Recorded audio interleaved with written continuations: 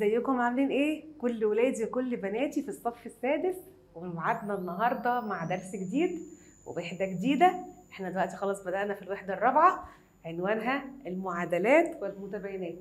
وحدة سهلة قوي وخفيفة وهتخلص بسرعة كده ومش هتتعبنا ابدا. يلا بينا نبدأ معاكم ميس فيوليت مدرسة الرياضيات وإحنا فين؟ إحنا في منصة نتعلم. ويلا نبدأ. تعالوا الأول نتكلم عن الجزء الأول من الوحدة. الجزء الأولاني بيقول حاجة اسمها المعادلة. الصراحة أنت خدت عنها خلفية في سنة خمسة. كلمة معادلة يعني إيه؟ طب بلاش سيبك من الرياضة. خلينا نتكلم في الحياة عادي كده. لما يبقى أنت طبعا كلكم بتحبوا تتفرجوا على كورة صح؟ أيوه كلنا بنشوف ماتشات. طب لما بنتابع كرة القدم أو اي أي لعبة ويكون في فريق وفريق قصاده والفريق ده جاب مثلا ثلاث أهداف والفريق ده برضه جاب ثلاث أهداف. لما نيجي نقول آخر المباراة بقى مين اللي كسب؟ تقوم قايل لي لا يا ميس مفيش حد كسب. الاثنين إيه؟ الاثنين اتعادلوا. يعني إيه اتعادلوا؟ يعني زي ده زي ده. صح. من هنا جه لفظ كلمة معادلة. من هنا جه لفظ كلمة إيه؟ معادلة. كلمة معادلة يعني الطرف اليمين زي كأني بقول للفريق الأولاني هو هو بيساوي الطرف الايه؟ اليسار. فهمت يعني إيه كلمة معادلة؟ طب هنفهمها أكتر مع بعض دلوقتي. ناخد بس أول إيه؟ أول جزء أهو معانا. يعني إيه كلمة معادلة ويعني إيه معناها وكل ده؟ تمسح بس اللي على السبورة ده يا شباب. يلا يا شباب. إيه المعادلة؟ طبعا إحنا بناخد رياضة. فالمعادلة عبارة عن جملة رياضية. يعني إحنا هناخد جملة رياضية. ميس طب ما إحنا خدنا حاجة اسمها تعبيرات رياضية.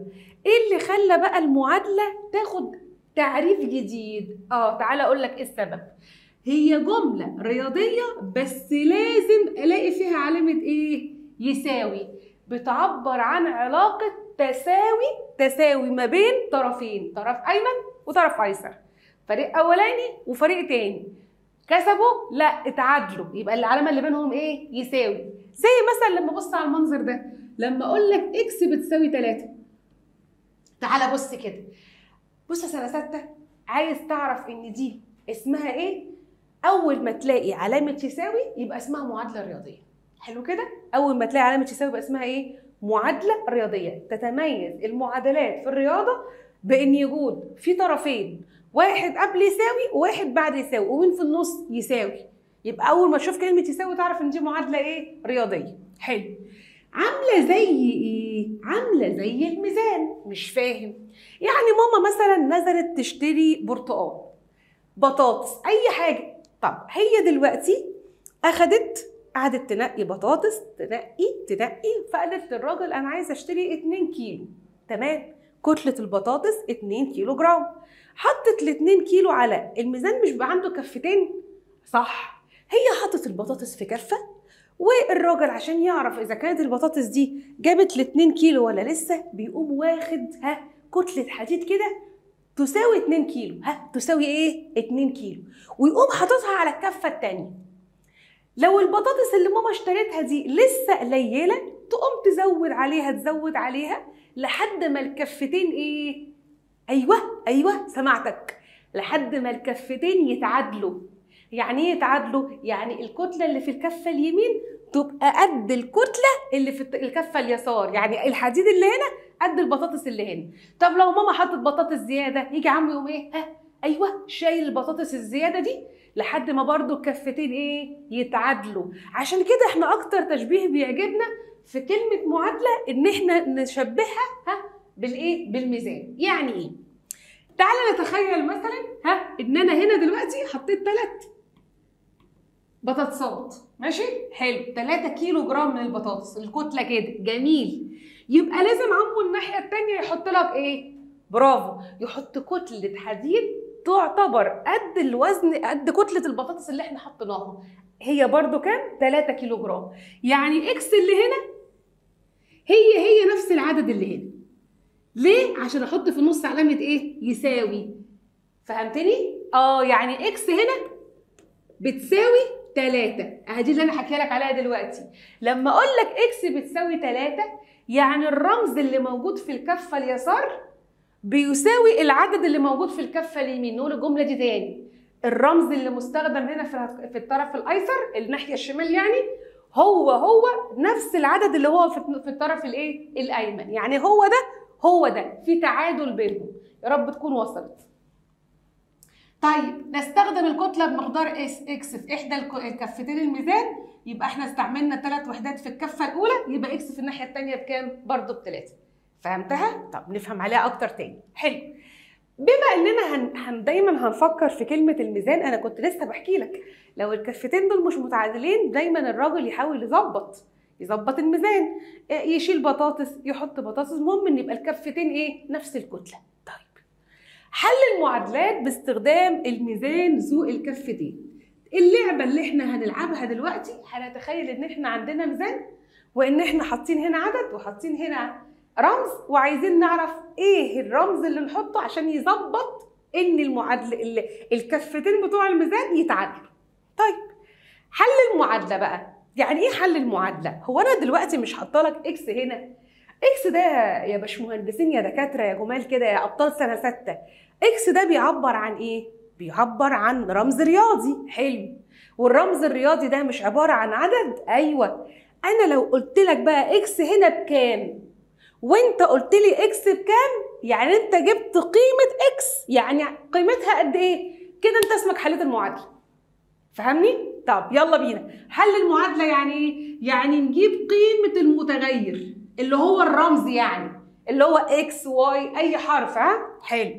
قيمة المتغير اللي يخلي المعادلة صحيحة. يعني يخلي الناحية اليسار قد الناحية اليمين. يعني يخلي الكفتين قد بعض. طب بقول لك إيه؟ صدق الموضوع أبسط بكتير من اللي إحنا كاتبينه ده. إحنا حاسين إن الموضوع كده إيه درس يعني صعب وبتاع. لا لا لا ولا حاجة. تعالى كده ارجع بالذاكرة معايا. يعني تخيل نفسك إن أنت كده طفل صغير طفل صغير. حلو؟ وكتبت لك مسألة وأنت في أولى ابتدائي. آه شوف بص رجعتك بالزمن قد إيه. يلا نرجع بالزمن. كتبت لك إيه؟ نقط زائد واحد تساوي خمسة. إيه رأيك؟ مسألة إيه دي؟ دي مسألة تقول لك لا يا miss دي مسألة KG 1 يا miss صح مسألة سهلة قوي قوي قوي الواحد نزود عليه كام فتطلع الإجابة خمسة الواحد نزود عليه كام فيدي الإجابة إيه؟ خمسة طبعا مش محتاجة تفكير تقول لي يا ميس يبقى النقط دي نحط عليها أربعة عشان أربعة زائد واحد يدي خمسة في أسهل. وأبسط من كده؟ لا طبعا مفيش وانت كنت بتقول طيب أجيب العدد ده إزاي؟ لو ما أنتش عارف رغم إن المسألة مش مستاهلة يعني مش هي دي زائد. آه.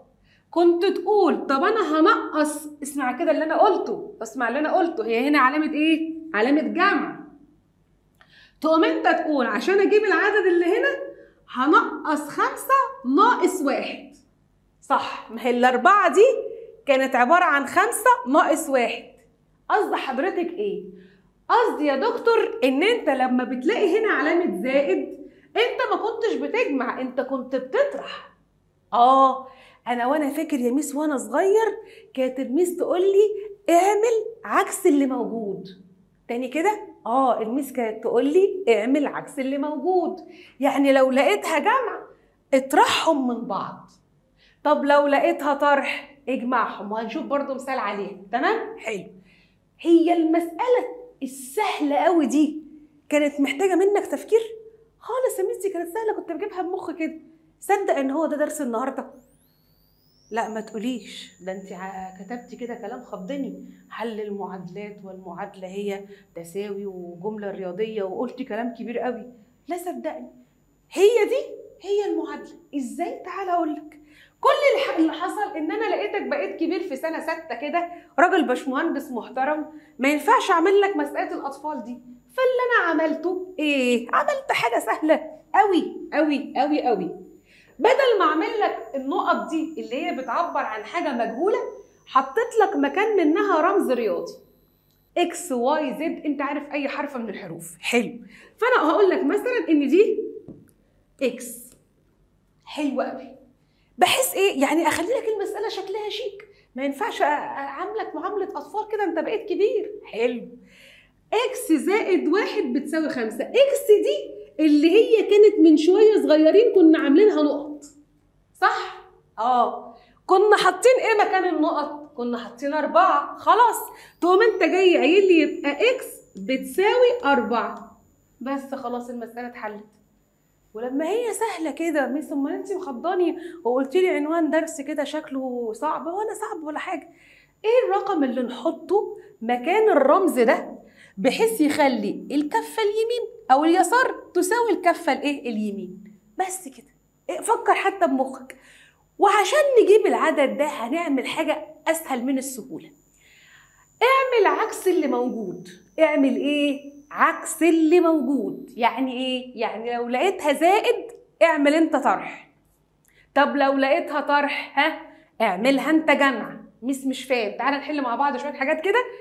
تعالى نجيب صفحة. تعالى تعالى بص إيه نجيب لنا صفحة بيضة كده ونحكي فيها شوية. هعمل لك مسائل تحسسك إن أنت طفل صغير. نفس المسائل اللي أنت خدتها وأنت صغير دي هنعملها على كبير. يلا بينا؟ يلا بينا. يلا يا باشمهندس حاجة؟ نقصنا منها ثلاثة طلعت الإجابة خمسة. آه. في واحد قاعد كده سرحان مش مركز قال لي اتنين. قلت له يا راجل. قال لي آه يا ميس مش خمسة ناقص تلاتة اتنين. قلت له طب بذمتك تعالى بس كده. تعالى نحط أنا هسمع كلامك الغلط ها؟ تعالى نحط مكان النقط دي اتنين. اقرأ كده وشوف الكلام موزون ولا لأ. هل اتنين ناقص تلاتة تساوي خمسة؟ الحق الحق. أكيد إحنا عملنا حاجة غلط. طبعا طبعا. يعني إيه 2 ناقص 3 تساوي 5 امسح بسرعة. جت بقى بنوتة شاطرة وولد شاطر قاعد مركز. قال لي يا مس العدد اللي هنا 8 قلت له برافو. صح أنا لو هنا جيت كتبت 8 هيبقى 8 ناقص 3 تساوي 5 مسألة مظبوطة علاقة رياضية مظبوطة. هذه اسمها معادلة خلي بالك. حلو. طب والتمانية دي جت إزاي؟ الواد اللي هو اللي كان مش مركز من شوية ده لما لقى دي عن مسألة طرح من غير ما يفكر قام طارح. لا التمانية دي جت عن طريق عملية الجمع. جمعنا إيه؟ جمعنا تلاتة زائد خمسة فجابت تمانية. جمعنا تلاتة زائد خمسة فجابت تمانية. طب يعني معنى كده؟ يعني أنا مثل لما ألاقيها مسألة طرح أنا أعمل العكس؟ أيوه. لو لقيتها هنا طرح اعمل أنت العكس وخليها جمع. طب لو لقيتها جمع اعمل أنت العكس وخليها طرح. بس أنا طبعا مش هجيبها لك نقط. أمال أنا هجيبها إيه؟ هقول لك هجيبها لك إيه؟ أنت بقى خلاص دلوقتي يعني كبير وفي سنة ستة مش طفل صغير. فأنا هاجي بقى أقوم مكان النقط ده كاتبة لك مثلا واي. أي رمز رياضي رمز بيعبر عن متغير. قول لي بقى إحنا مكان النقط دي كنا كاتبين إيه؟ 8 يعني مكان ال y أحط إيه؟ 8 برافو يبقى أنت ال y هتساوي 8 بس أنت كده حليت المسألة. إيه ده؟ أظن درس مش بقول لك الوحدة دي. إحنا خلي بالكم الوحدات اللي اللي هي اللي يعني اللي في سنة ستة الترم ده جميل وخفيف كده ووحدته لذيذة وبتخلص بسرعة وفهمها سهل. يعني انت يعني إيه معادلة؟ يعني إيه الرقم اللي احطه مكان الرمز ده بحيث الاثنين دول يتعادلوا؟ فعلا انت لما تشيل y وتحط 8 فاكر شيل وحط بتاعت الحصة اللي فاتت؟ يلا بينا. ها 8 ناقص 3 تساوي إيه؟ 5 ومن شوية عملنا مسألة كمان. يلا يا دكتور. x زائد 2 تساوي 11 اوعى تقول لي 13 في واحد برضه لسه مش مركز وقال لي 13 قلت له جبتها منين يا ابني؟ قال لي يا مس جمعت 11 زائد 2 قلت له انت غلطان. أنا قايلة لك. لما تلاقيها جمع انت تعمل إيه؟ طرح. يعني انت شايف الاثنين دي؟ شايف الاثنين دي؟ لما تحب تمشيها من هنا ها؟ توديها بالعملية. إيه اسمع بقى الجملة دي اسمع الجملة دي. ها نوديها بالعملية العكسية. إيه الكلام الكبير ده؟ لا خالص الموضوع لا كبير ولا حاجة. كلمة العملية العكسية يعني أعمل عكس اللي موجود. أعمل عكس اللي موجود. هي زائد أنت تعمل إيه؟ ها توديها ناقص. هي جمع أنت توديها طرح. اعمل العكس فاهمني؟ حلو. جميل. 11 ناقص 2 طلعت بكام؟ بتسعة. يبقى x دي بتساوي تسعة. الآن تعالى اتأكد. تعالى كده نشطب على ال x دي ونحط مكانها تسعة. وشوف كده العبارة مظبوطة ولا لأ. تسعة زائد اتنين تساوي 11 أيوة العبارة مظبوطة. يبقى إيه الرقم اللي احطه مكان x هو التسعة انت عملت إيه؟ انت حليت المعادلة. إيه ده هي كده خلصت؟ آه صدقني خلصت والدرس اتشرح كمان. يا خبر إيه الجمال ده؟ ده مسألة سهلة قوي. اديني كمان حاجة تانية. طب تعالى ناخد بقى إيه؟ حاجة إيه؟ يعني فكرة تانية. هنمسح ده؟ كده إحنا خدنا قلنا لو لقيناها طرح إحنا نعمل جمع. لو لقيناها جمع إحنا نعمل إيه؟ طرح. حلو قوي. طب تعالى يا دكتور بقى يا جميل انت ناخد حاجة كمان. إيه اللي هناخده؟ لو قلت لك أربعة x تساوي ستاشر. أربعة x تساوي ستاشر. دي بقى عملية جمع ولا طرح ولا أيوة؟ أيوة برافو عليك. في واحد قال لي miss أنت معلماني. أول ما ألاقي المعامل جنب الرمز أو ألاقي حاجتين جنب بعض اللي بناكله؟ بناكل الضرب صح؟ يبقى العلامة اللي هنا اللي إحنا أكلناها كانت علامه الضرب. بس إحنا واكلينها مش كاتبينها. جميل. اقرأ كده. أربعة في عدد اسمه x. أربعة في حاجة. طلعت ب 16 أربعة في كام يجيب 16 أيوه. برافو. أربعة في أربعة. يبقى أنا أحط مكان ال x دي إيه؟ جميل. أحط مكان ال x دي أربعة. طب إحنا جبناها منين يا miss؟ هقول لك يا حبيبي. أنت لما كنت بتشوف مثلا وأنت زمان شوية كنت أقول لك مثلا 3 في نقط تساوي 15 وانت عايز تعرف مكان النقط ده إيه. فكنت تسأل نفسك 3 في كام؟ يجيب 15 أو تقسم ها ها اسمع. أو تقسم 15 على التلاتة فتقول لي يبقى الإجابة خمسة. مظبوط؟ آه يعني هي لما تبقى المسألة ضرب أنا أعملها إيه؟ اسمة ده أنا كده برضه يا مس بعمل العكس نفس الكلام. أنا بعمل عكس العملية الموجودة. الجمع يبقى طرح الطرح يبقى جمع الضرب يبقى اسمة ها؟ في حد كمل لوحده برافو. قال لي تبقى الاسمة نحولها لإيه؟ لضرب. هي دي اسمها العملية العكسية. يعني أعمل عكس اللي موجود في المسألة. ناخد واحدة عليها بس نمسح الحتة دي. بص يا دكتور ها. قلت لك مثلا إيه, إيه؟ x. امسك القلم بس. x على خمسة تساوي أربعة. إيه ده يا ميس هي دي علامة العلى؟ آه انت عارف ان إحنا ممكن نكتب دي كده اهو طريقة رأسية كده أو ممكن نكتبها إكس على خمسة ها؟ هي دي هي دي يعني ممكن اعملها على كده وممكن اعملها على كده حلو إيه اللي نقسمه على الخمسة يجيب أربعة؟ مش عارف طب انت إيه اللي عكس القسمة؟ ضرب خلاص يبقى تعمل إيه؟ x دي لو انت عايزها مش هي هنا قسمة اهي كان دي علامة على بس مستخبية. انت اعملها ضرب يبقى خمسة في أربعة. أيوة يبقى x دي بتساوي عشرين. صدق إن أنت كده حليت المسألة؟ إيه ده بالسرعة دي؟ آه بالسرعة دي. لما نقسم عشرين على خمسة تساوي أربعة. فهمت يعني إيه يا دكتور؟ عملية عكسية؟ يعني إيه عملية عكسية؟ أعمل عكس العملية الموجودة. الزائد تبقى ناقص الناقص تبقى زائد. يعني لو لقيت هنا جمع اعملوا انت طرح. لقيت طرح اعملوا إيه؟ جمع. يلا معايا غني؟ يلا نغني مع بعض. ها. الزائد تبقى ناقص والناقص تبقى زائد. ها الناقص تبقى زائد والزائد تبقى ناقص. كمل الأغنية.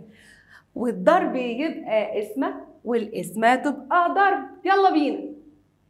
نقولها على بعضها. يلا بينا. ها الزائد تبقى ناقص والناقص تبقى زائد الضرب يبقى اسمة والاسمة تبقى ضرب. فهمت يعني إيه عملية عكسية؟ بس أدي الدرس يا باشا. يلا نحل عليه وناخد كمان حاجة اسمها المتباينات. ما تقلقش إحنا النهارده نحل شوية وناخد المتباينات بس الحصة اللي جاية هنحل عليهم كتير قوي. نمسح السبورة ونرجع.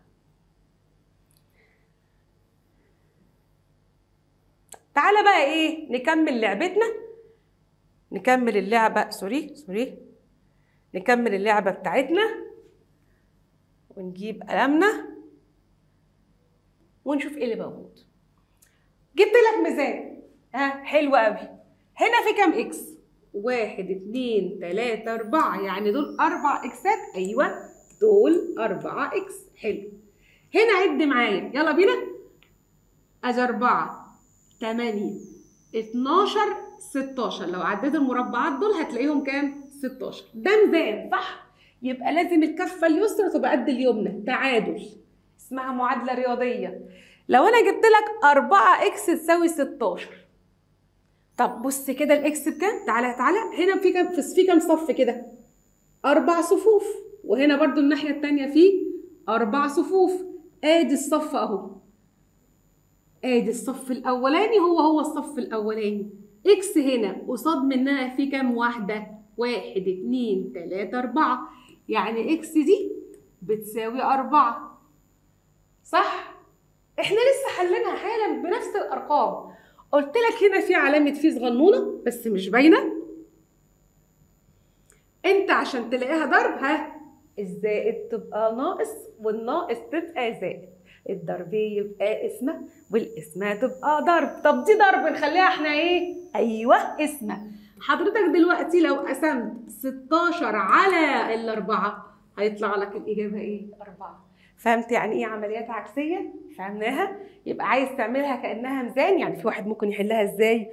يقول لي أنا مش بعملها كده أنا بعملها بمخي أربعة في كام تجيب 16 أقول لي أربعة في أربعة يبقى الإكس بأربعة. ده كده استعمل طريقة لعبة الميزان. اللي يحطه في الكفة دي عشان يخلي الكفة دي قد الكفة دي. واحد تاني يحلها بطريقة العملية الإيه؟ العكسية. أربعة في كام؟ تجيب 16 يبقى أنا هقسم ال 16 على الأربعة. الضرب يتحول لإيه؟ لاسم. هي دي فكرة العملية العكسية.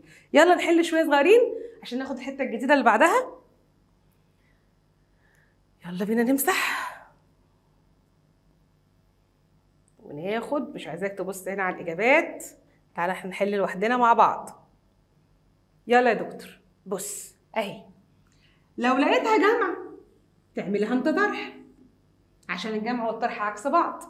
طيب لو لقيناها ضرب نعملها اسمة لأن الضرب والاسم عكس بعض. وطبعا لو اسمة نعملها ضرب ولو طرح نعملها جمع نعمل دول مع بعض عكس بعض ودول مع بعض عكس بعض. فتعالى نحل المعادلات دي باستخدام العملية الإيه؟ العكسية. أرجع أقول لك تاني عرفنا منين إنها معادلة؟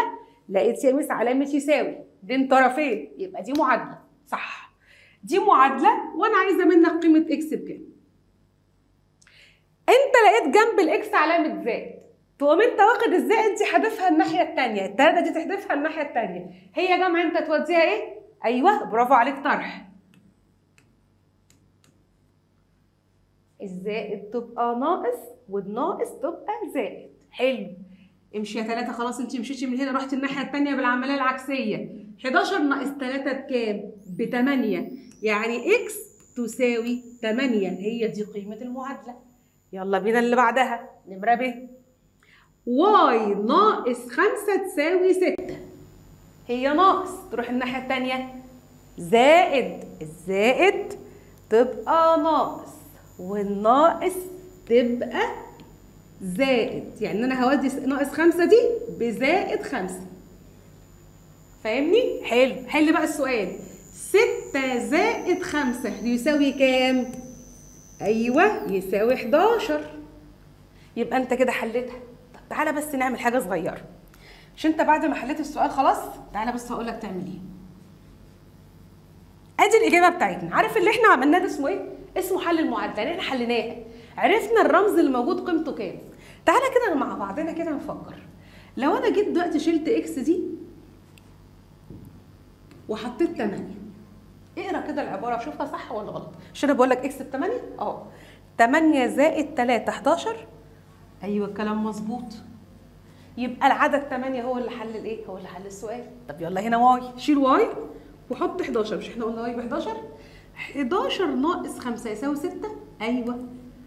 يبقى Y بتساوي 11 ده عدد إيه؟ عدد مظبوط. حلو. يلا بقى نكمل تاني. هستأذنكم بس نمسح وننزل بالسبورة شوية. 2 زد. 2 زد. يعني 2 أيوه أيوه اتنين في Z. صح. هنا في علامة في مستخبية. في واحد أول ما قلت له miss miss حلتها على طول أربعة. صح. أصل اتنين في كام؟ تجيب أربعة تجيب تمانية اتنين في أربعة. يعني الزد بأربعة. طب أقول لك كمان حاجة تانية. مش إحنا قلنا الزائد تبقى ناقص والناقص تبقى زائد؟ الضرب يبقى إيه؟ اسمه صح. فيبقى حضرتك لما تلاقي دي ضرب تودي الاتنين الناحية التانية بالقسمه تروح بالعملية العكسية. هي ضرب عكس الضرب اسمه يبقى 8 على 2 8 على 2 فتطلع زد بكام؟ الله ينور يا رجالة. صح زد بأربعة. تعالى اتأكد معايا لو سمحت. يلا بينا. همسح مكان الزد ده واكتب أربعة. 2 في 4 يساوي 8 العبارة صح؟ العبارة صح. يبقى زد مظبوطة بأربعة. يلا بينا اللي بعدها. تلت. آه استنى بس عايزة أقول لكم حاجة بقى إيه؟ عايزة أقول لكم معلومة كده من من ميس يولا لاولادها موضوع كلمة تلت ونص وربع والكلام ده بيلخبط الطلبة الشاطرين حتى مش هقول لكم كل يعني معظم الطلبة بتغلط فيه. بس لو انت مركز معايا من أول السنة هتلاقيني كنت قايلة لك في الوحدة اللي فاتت إن كلمة آه العدد مقسوم على اتنين. فاكرها؟ فاكر كلمة العدد مقسوم على اتنين؟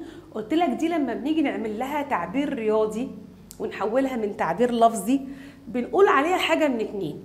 يعني بص معايا كده؟ لو جيت قلت لك عدد مقسوم على اتنين. حبيبي مش ده تعبير لفظي؟ آه حوله التعبير رياضي فنقوله مثلا العدد أي حاجة وليكن Y مثلا. فكنت تقولي Y على اتنين. قلت لك أنت ممكن ما تلاقيش في الاختيارات. صح؟ أمال هلاقيها إيه؟ ليها منظر آخر شبهها. إيه هو؟ نص Y. طب لو قال لك Y على التلاتة تكتب Y على التلاتة أو تلت Y. Y على الأربعة. تكتب Y على الأربعة أو ربع Y. عايزة تقولي إيه يا miss فيولا؟ حبيبي لما تلاقي نص معناها على اتنين. لما نلاقي النص معناها إيه؟ على اتنين. طب استنى بقى نجيب سبورة جديدة ونشرحها الحتة دي. يلا بينا. بص في كام حاجة كده عايزة أسهلها لك. لو أنت لقيت مثلا دي نص بي بتساوي مثلا 8 أي حاجة. آه اعمل لها كتابة بشكل أسهل عشان أنت تعرف تحلها. خلي المنظر ده هو عبارة عن بي على 2 يساوي 8 ميس أنا غيرت السؤال. لا صدقني أنت ما غيرت السؤال. هو ده هو ده. صدقني هو ده هو ده. فاهمني؟ آه. نص B تساوي 8 يعني B على الاثنين تساوي 8 طب أنا بعمل كده ليه؟ هقول لك أنا بعمل كده ليه. أنا بسهلها لك. حضرتك دلوقتي لما القسمة دي بقت باينة قدام منك إنها قسمه فأنت تحول القسمه لإيه؟ لضرب. يبقى في الحالة دي B هتساوي القسمه تبقى ضرب. 8 في 2 يعني B بتساوي كام؟ 16 كده حلها أسهل من كده. كده هتتلخبط. اسمع الكلام. نص B يساوي 8 يعني ال B مقسومة على 2 تساوي 8 اللي نقسمه على 2 يجيب 8 16 يبقى لما أشوف نص دي كأنها على 2 طب واحدة كمان يا miss. لو جيت قلت لك مثلا Y على 5 تساوي 3 كده سهلة. إنما أنا ممكن أغلس عليك بقى.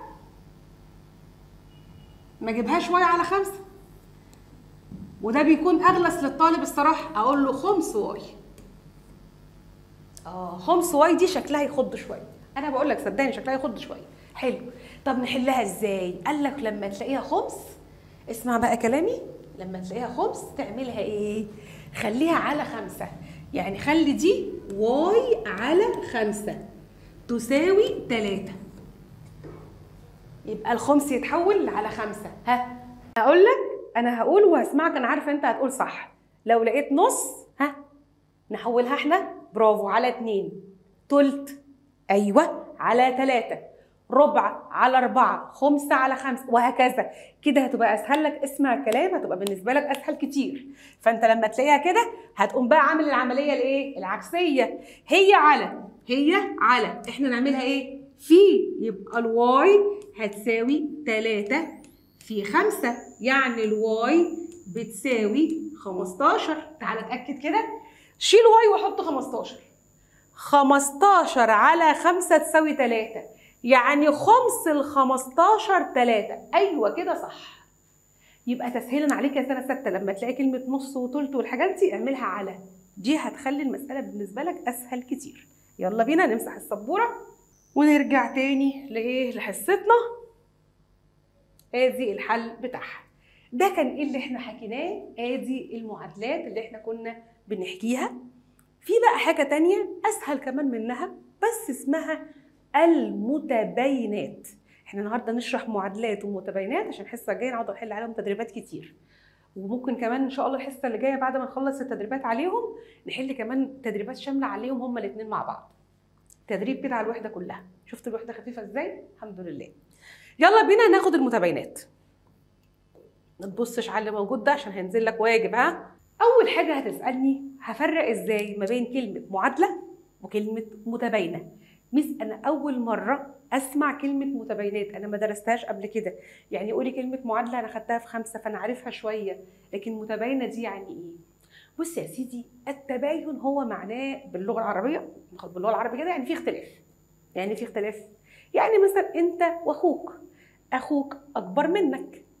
هل أنتوا الاثنين قد بعض ولا هو أكبر منك؟ أكبر. يعني عمر أخوك أكبر من عمرك. أيوه. يعني في اختلاف في عمركم. أيوه. دي اسمها تباين. اني الاقي حاجة أكبر من حاجة. أو مثلا أنت أصغر من أخوك. فيبقى أنت أصغر منه. يبقى ده في كده في اختلاف. يعني تباين.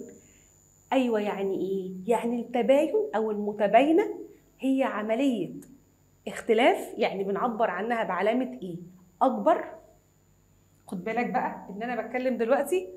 تعالى بس نشرحها كده في الايه في صفحة فاضية. بص لو جيت قلت لك إكس دي أكبر من 3 هل ده تساوي؟ لا يا ميس مش تساوي. إحنا عايزين عدد يكون أكبر من 3 حلو. اديني أي قيمة مناسبة. اديني أي قيمة مناسبة لعدد يكون أكبر من 3 طب ما تيجي نكتبها بالعربي. انت عارف ان إحنا ممكن نعمل تعبير لفظي زي ما نقول كده اهو. عدد أكبر من 3 يتكتب إزاي ده بالرياضة؟ كتعبير رياضي. إكس أكبر من 3 أي رمز يعني بس أكبر من 3 طب حلو. يبقى علامة أكبر دي دي معناه إن أنا بحل حاجة اسمها إيه؟ متباينة. يبقى الأكبر دي علامة تباين. استنى عليها نحلها بس تعالى ناخد كمان واحدة تانية. لو جيت قلت لك عدد أصغر من خمسة. حول لي التعبير اللفظي ده لرياضه حلو. هتقول لي يا ميس عدد اشمعنى واي؟ أي حرف. أصغر. يبقى هستعمل علامة أصغر. من خمسة. يبقى أنا حولت التعبير اللفظي لتعبير رياضي. باستعمال حاجة اسمها المتباينة. يبقى كلمة أكبر أو كلمة أصغر معناها إيه؟ معناها إن أنا بحل متباينة. في علامات تانية؟ آه بس تعالى الأول نحل دول عشان ناخد صفحة ناخد فيها علامتين تاني. إيه اللي هنعمله؟ هنحلهم مع بعض. يعني إيه نحلهم مع بعض؟ دردش معايا كده. إيه هي؟ قلت لك حط لي رقم مناسب. رقم يكون أكبر من التلاتة. أيوه كل اللي أنتوا قلتوه صح. اللي قال أربعة واللي قال خمسة واللي قال ستة واللي قال سبعة وثمانية و طبعا خد بالك من حاجة لو أنا قلت لك كمان عدد صحيح أنت عارف لو أنا ما جبتلكش سيرة عدد صحيح وقلت لك عدد نسبي فأنت ممكن تحط ثلاثة ونص مثلا عادي. ثلاثة وربع أي يعني في أرقام كتيرة ثلاثة واحد من عشرة. لكن خلينا يا سيدي دلوقتي نتكلم في الأعداد الصحيحة. خلينا نقول إن إحنا بنتكلم عن أعداد إيه؟ صحيحة. قلت لك اكتب لي عدد صحيح يكون أكبر من ثلاثة تقدر تكتب كام عدد؟ برافو. عدد كتير جدا عدد لا نهائي. في أرقام كتيرة قوي أكبر من ثلاثة خد بالك بقى أنت قلت معلومة حلوة قوي إيه المعلومة اللي قلناها؟ إن إحنا دلوقتي في المتباينة الإجابة بتاعتنا بتكون كتير. إزاي؟ يعني Y دي Y دي ممكن تكون بتساوي. هنا هو دي X يا ولاد. ها نمسح بس دي. دي ممكن تكون بتساوي 3 لا مش هينفع تساوي 3 ليه؟ أيوه خد بالك عشان لسه حكي عليها كمان شوية. هو أنا قلت لك عايزاها تساوي 3 ولا أكبر من 3 أكبر من 3 خد بالك من الحتة دي. خد بالك منها. ماشي؟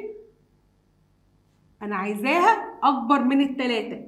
أكبر من التلاتة يعني ممكن أربعة ممكن خمسة ممكن ستة. يوه ده في أرقام كتير قوي. طب لو حبينا نرسم الأرقام دي. آه طب هنرسمها إزاي؟ تعالى كده نعمل خط الأعداد. فاكر خط الأعداد الصحيحة؟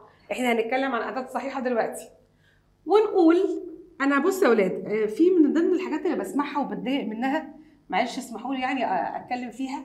في واحد لما يقول لك لما ترسم خط الأعداد حط لي الصفر في النص. لازم يكون في النص. بص يا حبيبي خط الأعداد ده خط مستقيم. والخط المستقيم أنت درسته وأنت في سنة رابعة ليس له بداية وليس له نهاية. فبالتالي هو أصلا ملهوش نص يعني. فأنت لو مثلا مثلا حابب إن أنت تكتر الجزء الموجب حلو. ما يجراش حاجة خالص لو انت حطيت لي الصفر هنا وزودت الجزء ده شوية عن الجزء ده ليه؟ لأن انت محتاج تك- تكتب أرقام موجبه أكتر. فمفيش حاجة اسمها الصفر في النص. حط الصفر في أي مكان مناسب. بس كده كلمة جت على بالي يعني. هنا هحط سالب واحد هنا سالب اتنين. انت عارف إن انت يمينك موجب ويسارك سالب. وهنا هقول الواحد الاتنين التلاتة الأربعة خمسة ها؟ ستة سبعة وطبعا في أعداد ملهاش إيه؟ ملهاش آخر. جميل. دلوقتي إيه هي الأرقام اللي أكبر من التلاتة؟ قلت لي يا ميس هبدأ لك من أول الأربعة. هاخد الأربعة دي وهمشي كل ده.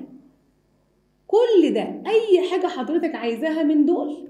أعداد صحيحة ها؟ أي حاجة عايزاها من دول أعداد صحيحة خديها معاكي. ولو عايزة كمان أعداد نسبية خديها معاكي. لو انت بس إحنا اتفقنا إن إحنا هنعمل إيه؟ خط للأعداد الصحيحة. أنا هنتكلم دلوقتي أعداد صحيحة. جميل. هتلاقي نفسك واخد من أول الأربعة ومكمل لقدام. فاهمني؟ يبقى أنت كده المتباينة ليها أكتر من إيه؟ من إجابة. عيد تاني الحتة دي. لما قلت لك إكس أكتر من 3 أخدت التلاتة ولا أكبر منها؟ أيوه أكبر منها. اسمع الكلام ده عشان هنتكلم فيه كمان شوية. طيب. لما أقول لك بقى حل لي المتباينة دي. Y دي اسمها إيه؟ ها؟ كلمة جديدة دي بنتعلمها النهارده اسمها متباينة. Y أصغر من خمسة. إيه هي الأعداد الصحيحة اللي أصغر من خمسة؟ فواحد قال لي بص يا miss أنا هرسم خط الأعداد. وأقول مثلا الصفر هنا. يميني هو أعداد موجبة. ويساري هو أعداد سالبة. لا الموجب ليه نهايه ولا السالب برضه ليه نهايه طب أنا عايزة أعداد أصغر من الخمسة. في واحد قال لي ميس ينفع الأربعة. صح الأربعة أصغر من الخمسه وينفع الثلاثه وينفع الاثنين أصبح المتباينة دي يا شباب ليها إجابة واحدة ولا ليها أكتر من إجابة؟ ليها أكتر من إجابة. فين الخمسة؟ أهي. بس أنا مش هاخد الخمسة. هبدأ من الأعداد اللي أقل من الخمسة. كل ده ينفع معايا. كل ده ينفع معايا. هاخد الأربعة هاخد الثلاثه هاخد الاثنين هاخد الواحد وهكذا. خد بالك أنا مش واخدة دول بس. أنا واخدة كل الأعداد اللي اصغر منين؟ من خمسة. ميس أنت بتقولي إيه؟ بشرح حاجة جديدة أنت أول مرة تسمعها. اسمها المتباينة. طب إيه الاختلاف ما بين المعادلة والمتباينة؟ قلنا المعادلة دي بيبقى في علامة يساوي. مظبوط؟ ما بين إيه؟ ما بين طرفين. وفي حدود الدراسة بتاعتنا في سنة ستة هتلاقي المعادلة دي في قيمة واحدة هي اللي هتظبط الميزان. إنما المتباينة هستعمل علامة أكبر أو علامة أصغر ولسه في علامتين تاني هشرحهم لك كمان شوية. وهكتشف إنه مفيش إجابة واحدة هي اللي تنفع ده في أكتر من إجابة. يعني زي ما قلت لك هات لي الأعداد اللي أكبر من ثلاثة فأنت كتبت كل الأعداد اللي أكبر من ثلاثة وطبعا ملهاش آخر. هات لي الأعداد اللي أصغر من خمسة. قلت إن في كذا عدد أصغر من خمسة بس خد بالك لما قلت لك أكبر من الثلاثة بدأت بالأربعة. ولما قلت لك أصغر من الخمسة هنا برضو بدأنا منين؟ من الأربعة بس أخدنا اللي أصغر. في بقى علامتين تاني أنت عمرك ما شفتهم يمكن على الأقل أكبر وأصغر دول استعملناهم قبل كده. إيه هما بقى العلامتين دول؟ لو جيت قلت لك اكتب أنا هدي لك تعبير لفظي وانت تحوله لتعبير رياضي. فجيت قلت لك إيه؟ عدد أكبر من أو يساوي اتنين. إيه ده؟ جديدة دي. ما خدتهاش قبل كده. يعني إيه أكبر من أو يساوي؟ شكلها إيه دي؟ تعالى أقول لك الأول شكلها إيه ونفهمها. لو أنا قلت إن العدد ده اسمه واي ادي أكبر استنى بقى. شايف الشرطة اللي بحطها من تحت دي؟ دي كده نقراها أكبر من أو يساوي. دي كده نقراها إيه؟ أيوه أكبر من أو يساوي. يبقى العلامة الجديدة اللي اتعلمتها السنة دي وأنا في سنة ستة كلمة أكبر من أو يساوي كلمة أكبر من أو يساوي بتتعمل كده. أكبر من أو يساوي. طب ودي بقى في الحل يا مس في الحل. هل الإجابة بتفرق؟ آه بتفرق. مش فاهم. لو جيت قلت لك اكتب لي عدد أكبر من الاثنين فهتقول لي في ثلاثة وفي أربعة وفي خمسة وفي كتير. طب قلت لك اكتب لي عدد أكبر من الاثنين أو يساوي اتنين. طب ما ممكن ناخد الاثنين معانا. لا مش فاهم. طب تعالى بقى نحكي حاجة كده بره الدرس. يلا يا ولاد إحنا عاملين عندنا المدرسة بتاعتنا المرحلة الابتدائية بس مثلا يعني. حلو. وإحنا في المدرسة دي هنطلع رحلة. حلو. مين يا ميس مشترك في الرحلة؟ كل المدرسة؟ عايزة الأولاد اللي أكبر من سنة رابعة يطلعوا معايا أو في سنة رابعة. استنى كده. يعني أكبر من أو يساوي. يعني أكبر من رابعة أو في رابعة. أكبر من أو يساوي. كده مين مسموح له يشترك في الرحلة؟ سنة رابعة تشترك؟ آه ما إحنا قلنا يا ميس أكبر من رابعة أو يساوي رابعة.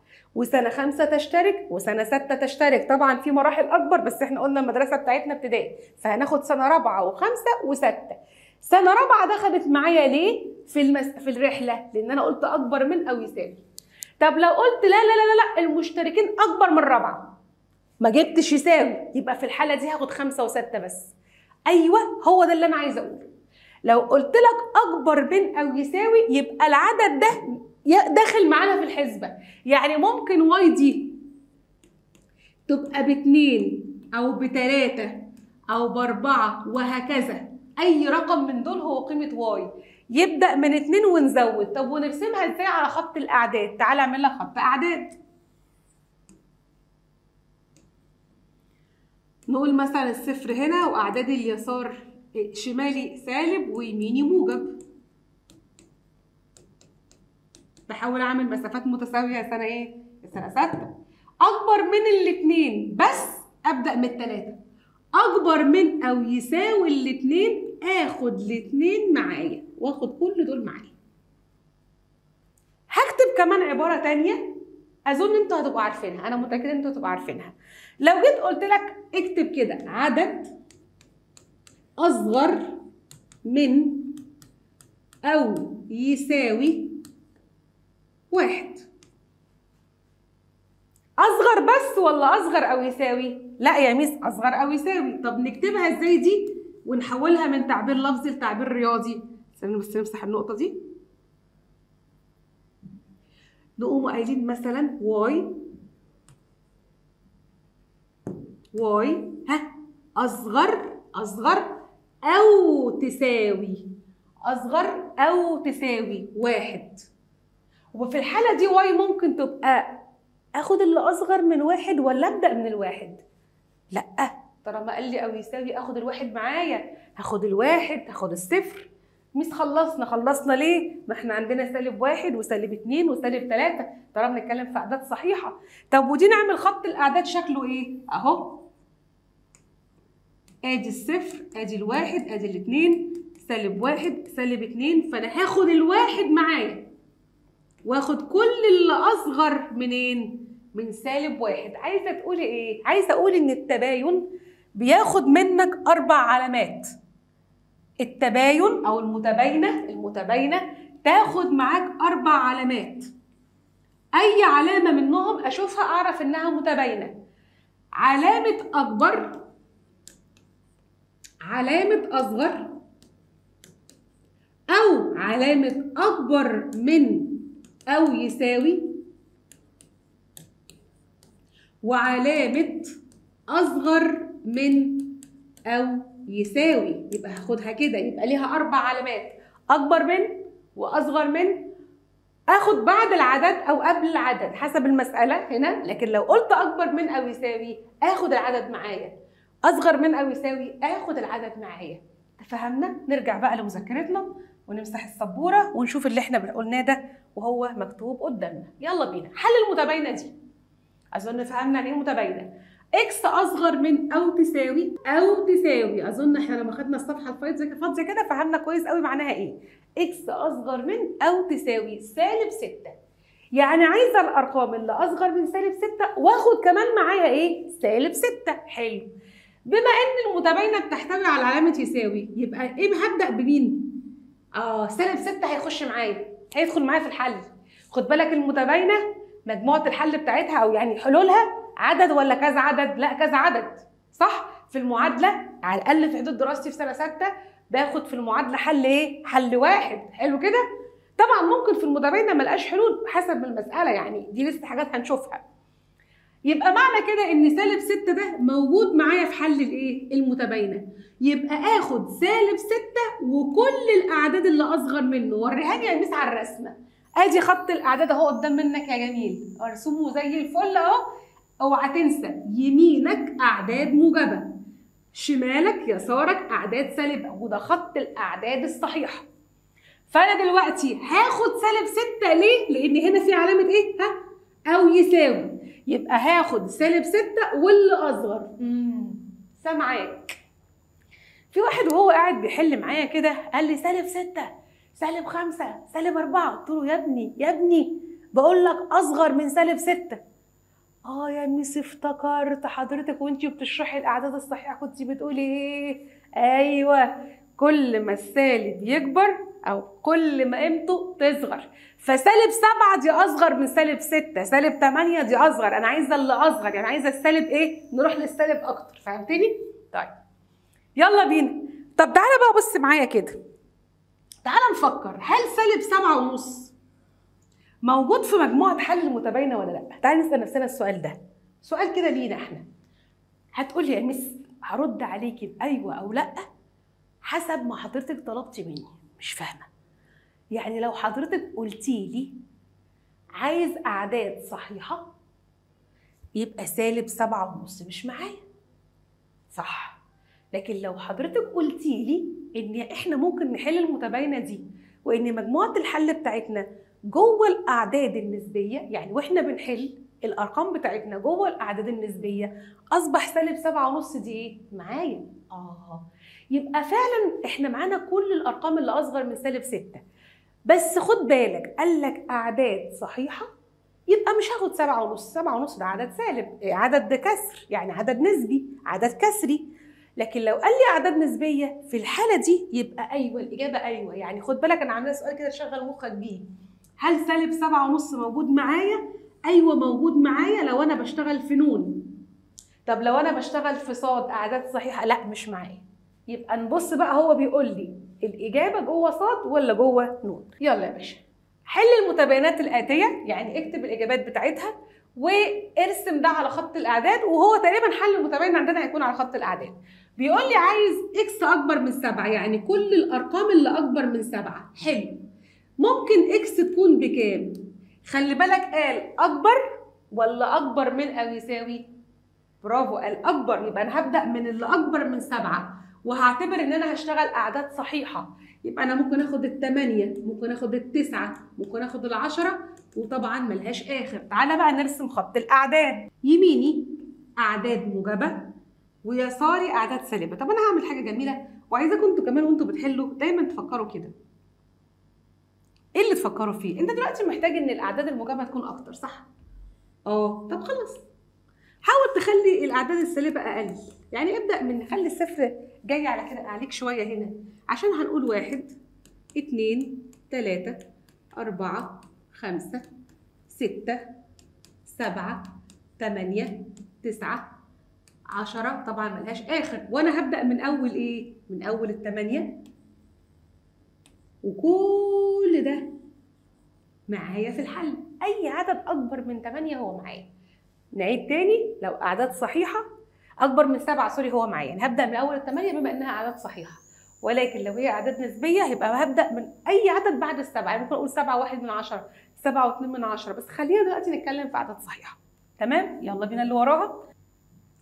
X أصغر من سالب 2 إيه الأرقام اللي أصغر من سالب 2 عارف لو قلت سالب واحد هجيلك. سالب واحد أكبر من سالب اتنين.